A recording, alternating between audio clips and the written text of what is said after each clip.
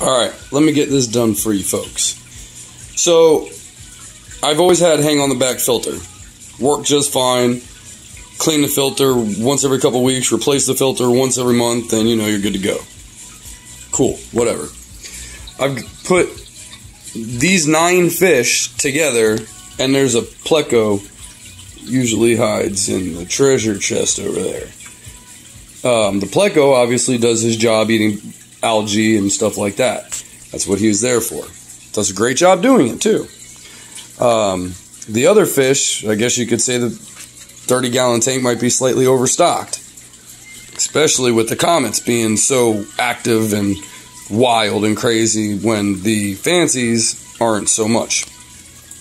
Well, this is the tank that I have, this is the fish that I have, and I'm not getting another tank today. When I can find a good deal on a 55 to 75 gallon tank, I will pick it up and put the comets in there.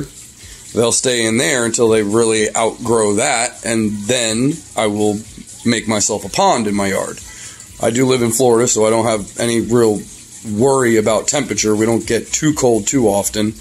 Um, so, uh, you know, the pond will be pretty good out here. Um, my only concern with the pond is heat, because I know we get 90 degree water sometimes. You can go to the beach, you can go to a lake, you can go to a swimming pool that's not even heated, and the water is 88, 90 degrees. So, uh, my concern is heat with a pond. But anywho, that's not what we're talking about now. Um, hang on the back is always what I used.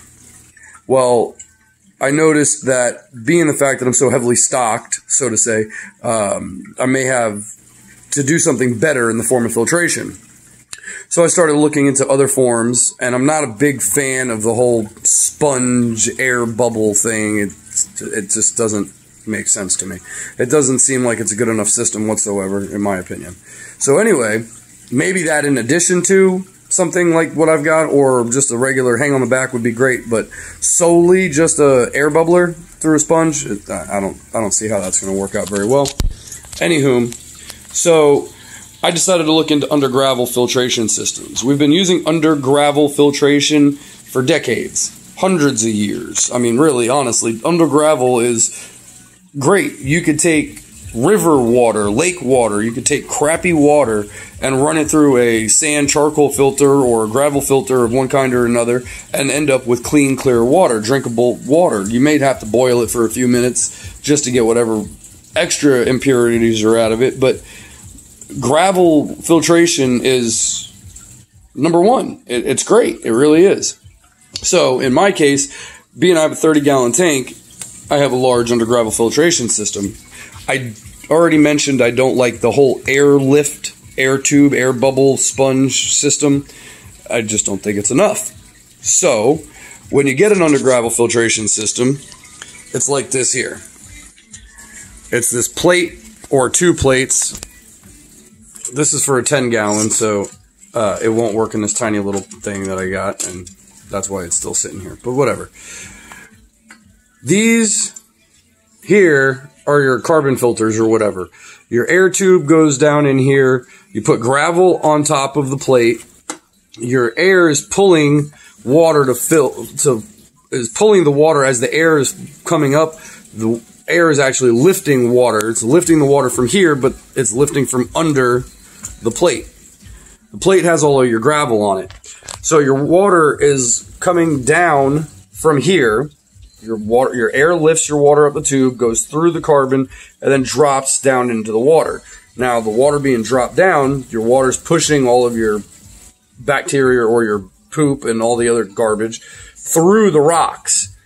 The rocks are filtering it, and then it's being sucked up from the underside and brought up and recirculated and cycled that way. All right. So that seems like a great system, which it really is. It's fabulous. I think that it's not enough. Doesn't make sense. We have bio bag filters that draw suction from the system. As you see, the bio tube is only so long, and then you have your little filter you could put on the bottom of it, your sponge you put on the bottom of it with your little doohickey so fish can't get sucked into it, um, which is great. All your bio crap is kept here, and then brought back down. So you still have a good ecosystem. Everything's flowing and you got your aeration through all your bubbles. It works. My little fish keep knocking my plants out. Anyway, so I decided why in the world not hook up my hang on biosystem to my under gravel. So now my biosystem is sucking from under the gravel. So the gravel's still working as filtration. It's pulling the water up through here, going into the biosystem, and then dumping back out. Well, because as you see, these things have two tubes, one usually on either side. It still had one aerator system in it. I got rid of the other one. This is a 30 gallon tank. That's a 20 to 40 gallon Aquatech. I decided to add a 10 to 20 gallon Aquatech to the other side. So now I've got two hang on systems filtering through under the gravel. I had the tank going like this for four or five weeks and then decided for the heck of it to take the siphon vacuum and siphon whatever little bit of stuff was in the rocks, the gravel. Um, and that was like after four or five weeks or something like that, maybe three or five, three to five weeks, somewhere in there. I, I cycled cycled it. I took out about four or five gallons worth of water and put in, you know, five gallons worth of spring water. I don't fill my tanks with tap water tap water's garbage, especially here. There's all kinds of chlorine chemicals and treatments and blah blah blah. So I just use bottled spring water.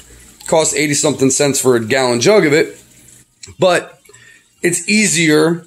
It's a lot more simple to deal with, and it's like almost ready, like literally ready.